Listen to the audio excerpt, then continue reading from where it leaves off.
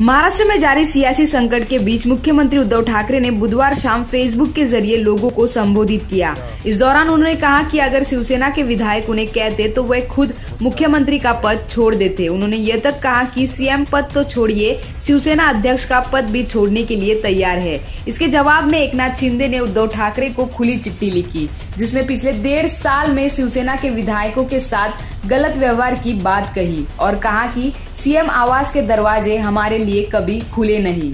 Bureau report anti corruption news.